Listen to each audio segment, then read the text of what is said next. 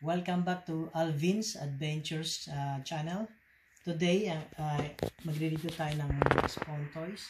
Again. Ang aking uh, collection is Spawn. Oh, you have a So, lovely actually, collection of Yeah, Spawn toys. Actually, I get plenty of uh, Spawn uh, action figures kaso naibenta ko na iba. Nagipit po kami. Kasi nagpalit ako ng aking uh, collection. I'm more on animation now. Mhm. Kaya nagbawas ako ng mga yung mga nakakatakot na toys ko.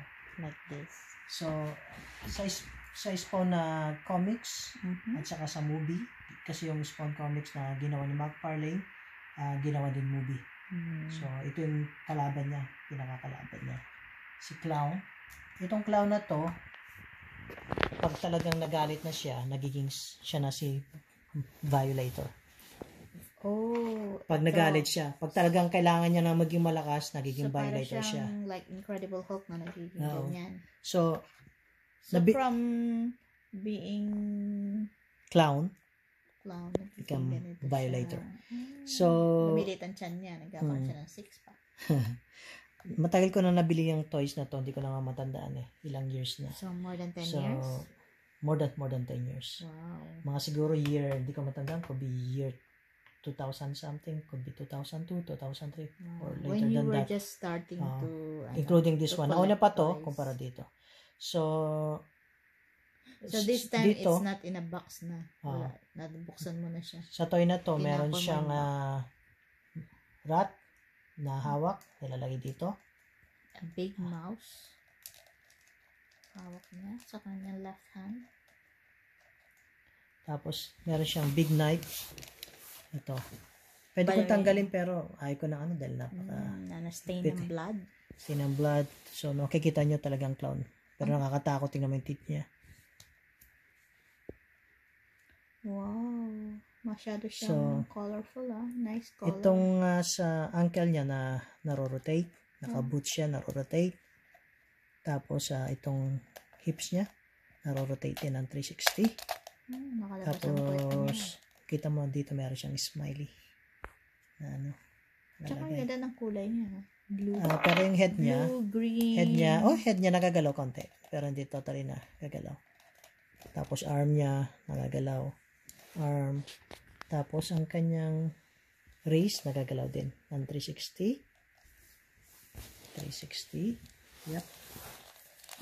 Pakita ko lang yung back niya. Ito meron siyang mga patusok. Parang rockers eh, dating niya. Tapos naka-jeans. Na, na, almost nalalaglag na.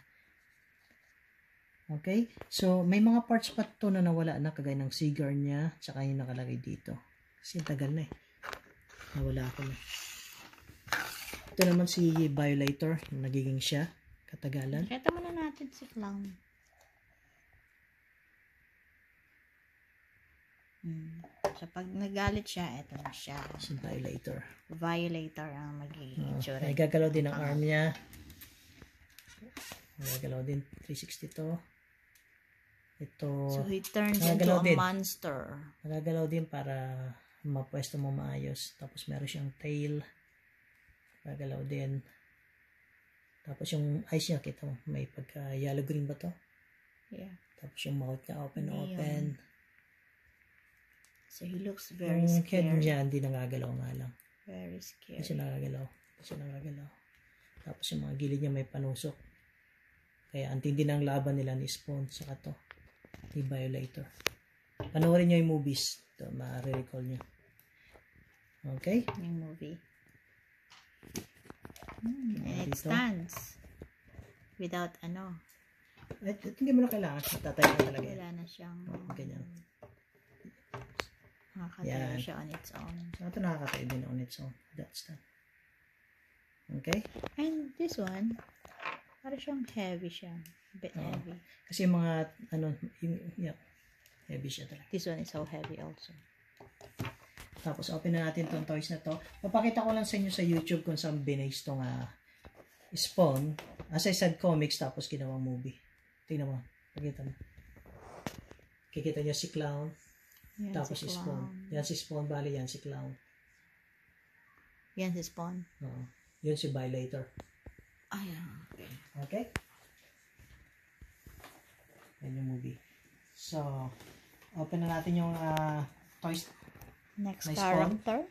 si Spawn to bale. Pero tong ah, number 11, ito yung wala siyang mask. Yung po pa, yung ano, ito yung mask, oh, tingnan, kumpara. Ilang beses ba siya nagpalit ng ano? Ito. Papalit siya ng anyo. Kaya niya mag-change.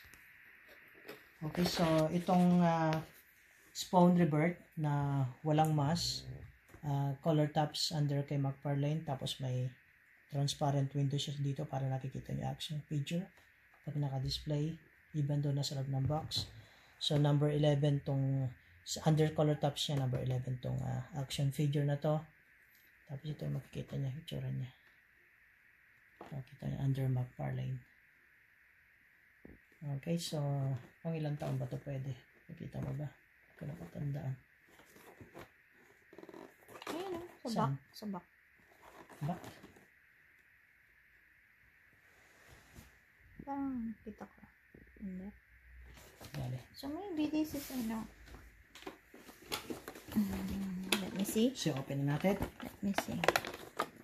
Ay, no, 14. So, Ah, 14 na this one requires older. Yung mga iba 12. This one is 14. So, open na natin yung box. If you're below 14, you can't buy so, this toy. As usual, ah, ingat lang kayo sa pag-open ng Or box. you cannot give this to a 14 year, I mean, below 14 year old children. Ito. Open na natin. Ooh. This one has a stand. Ito yung stand niya, nakalagay. Spawn. Spawn. Tapos, ah, How many movie ba ang Spawn? Wala ba siyang ah, sequel? movie 1, may sequel ginagawa eh. Ginagawa pa lang? Ginagawa. Pero ang cartoons niya marami. Series. Pero yung comics niya marami talaga. Okay? So, Because- Spawn, is he, ano ba? Human ba siya? Namatay siya, tapos ah, nakalimutan ko yung pinaka-istorya eh. Tapos, ah, See, he doesn't look like he's human. Look at that. parang nap- napunta siya sa hell tapos lu- lumabas ulit para So, is he a good guy? Ah, dapat bad guy dapat siya dahil under under the protection ng hell saka sa kanya binig, sila nagbigay ng power. But, Ah, but he naging used it siya. as in good, ano, oo. so makikita niyo daming ano, ang daming mga bala. bala. Ito yung head niya, tingnan yung head niya. Oh, Yan yung para walang pala mask. siyang, ano, skeleton. Tapos pwede siyang mag-change ng anyo. Ito may mga tusok yung gilid niya. Spikes.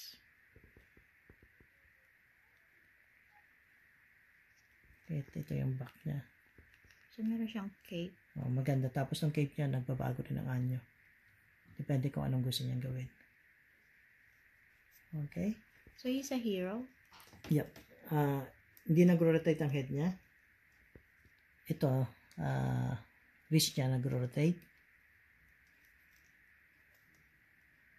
Ito nag-rotate. Kanyang arm. Tapos ito naka-fix. So, yung arms lang. Mm. Yung mga, actually, nung mga bagong release na mga toys ni McFarlane, nun, usually wala siyang articulation eh. Articulation. Tapos sa sa content ng box na yun, meron siyang kakaibang ah, gun, Weapon. rifle, kakaiba. Tapos meron din siyang ah, Powerful weapon. pistol. Pistol niya parang machine gun eh. Sa kakaiba eh. Okay? So, ito try natin siyang itayo.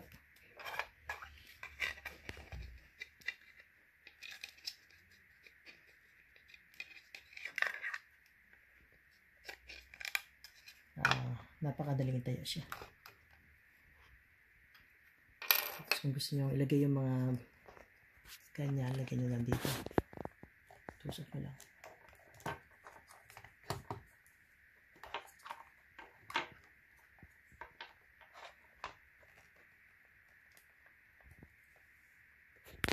Ganyan. Pati rin dito. Same din yan.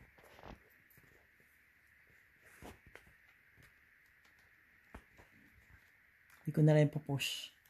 Pero pwede ah. Kasi ayaw ko masira eh. Dahil tatanggalin ko rin kaagad. So, yung another toy. Same, same to. Ang difference lang nila. Ito yung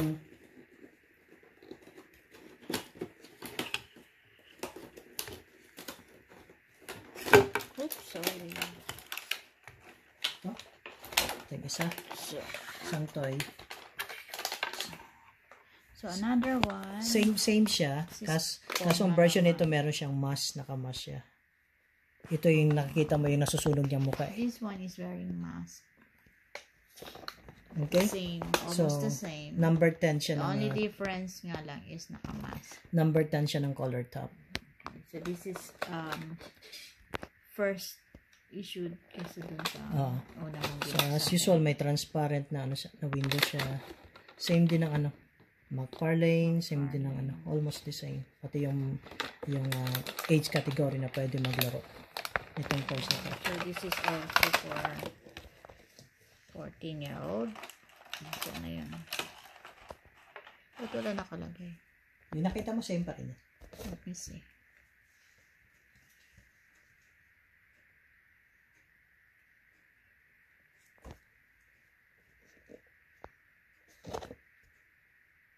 Okay.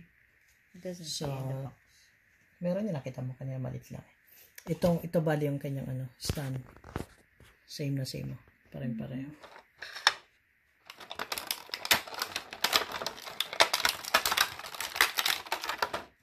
Okay, ang kakaiba lang nila, yung ito, ah, black and white. Dito meron siyang kulay na, na maroon ba to? Sandali, salamin ko eh. May red. Ah, red. Tapos, meron siyang ah, mask. Ito, nakikita yung nasusunog, yung, nakikita yung sunog ng mukha. Okay? So, ang gamit niya dito ay same din. Kanyang ah, The same weapon. rifle na kakaiba. Rifle ba tawag dyan? Hindi ko alam. Pero, ang kakaiba na sa kanila is kulay. Magkaiba ng kulay. At ang kanyang ah, pistol. Pistol na parang na parang kakaiba. Futuristic. Ang kakaiba lang nila, may pagkakaiba lang dito. Yung may parts na may kulay. Ito, parang gray lahat eh. Mm. So, papatayin na natin to kung madaling tumayo din katulad nun.